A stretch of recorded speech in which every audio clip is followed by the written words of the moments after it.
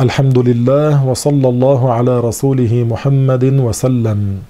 وبعد فقد اتفق السلف والخلف على أن العلم الديني لا يؤخذ بالمطالعة من الكتب بل بالتعلم من عارف ثقة أخذ عن مثله إلى الصحابة. وهذا مأخوذ من حديث رسول الله صلى الله عليه وسلم من يرد الله به خيرا يفقهه في الدين وإنما العلم بالتعلم والفقه بالتفقه. رواه الطبراني.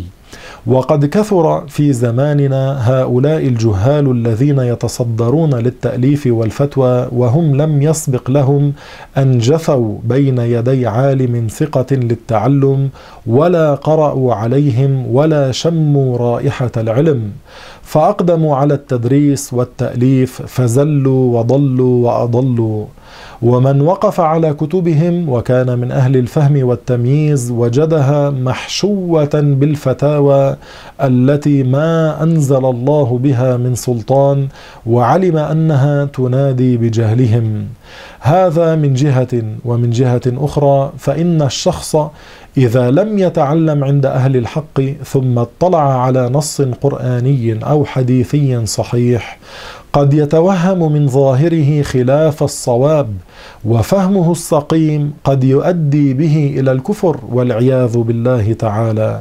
كالذين يطالعون المصحف والأحاديث ثم يفسرون من عند أنفسهم ولنا على ذلك أمثلة كثيرة منها أن الرسول صلى الله عليه وسلم قال لعائشة رضي الله عنها وعن أبيها يا حميراء يا حمراء الوجه لأنها رضي الله عنها كانت حمراء الوجه جميلة.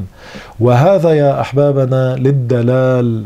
فظن شخص لجهله أن هذا تصغير لحمارة فكفر والعياذ بالله تعالى لأن معنى كلامه أن الرسول صلى الله عليه وسلم كان يقع في سبها بغير حق وهذه معصية كبيرة تستحيل في حق الأنبياء. أما معنى حميراء فهو تصغير حمراء لأنها رضي الله عنها وعن أبيها كانت حمراء الوجه جميلة. لذلك الرسول كان يقول لها ذلك وهذا للدلال. فمن سمع هذا الحديث ولم يسمع بتفسيره من أهل العلم الثقات فليس له أن يخوض في تفسيره بغير علم.